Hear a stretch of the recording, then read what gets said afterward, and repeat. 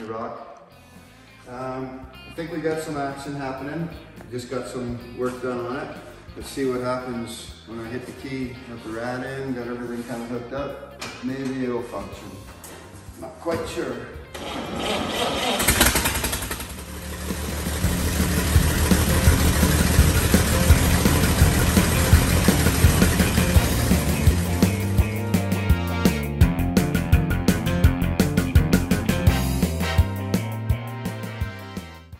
Good day, Rock.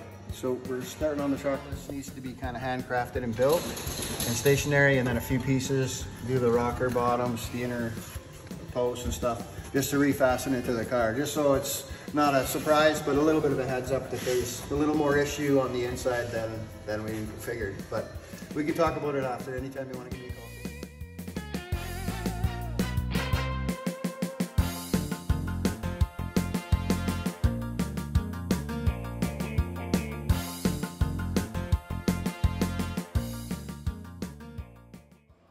Little bit of a tune-up, maybe a muffler, so it's not sounding like a tractor, but I think we got it running anyway.